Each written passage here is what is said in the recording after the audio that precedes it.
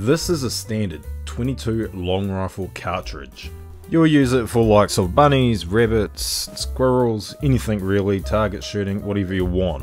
And this, ladies and gentlemen, is 22 long rifle birdshot, also known as rat shot. Never use 22 birdshot with a silencer, unless you want a broken silencer that is. The specific brand that I use of 22 birdshot is Winchester Super X. In all honesty, it works alright, I guess. And it gets the job done, so that's a bonus.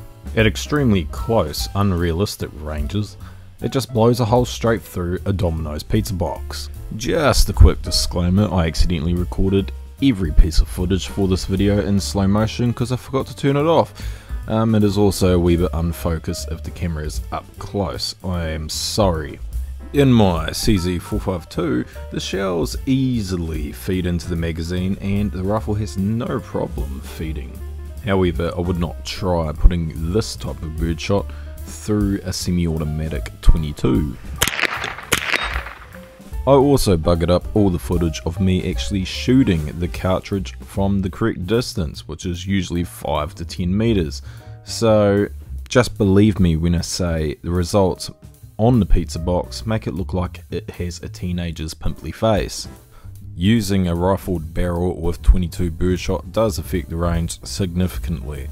In the old days, they would use what was called a garden gun, which was a smooth bore 22 or caliber that was similar for getting rid of small pests such as rats, mice, wee birds, etc. A rifled barrel helps the shot to scatter, meanwhile a smoothbore barrel, like a shotgun, like most shotguns, helps the shot to stay sewn together, thus creating a more even spread. A garden gun had a smoothbore barrel. Thanks for watching. Please uh, like and subscribe and I hope you enjoyed the video. Thank you.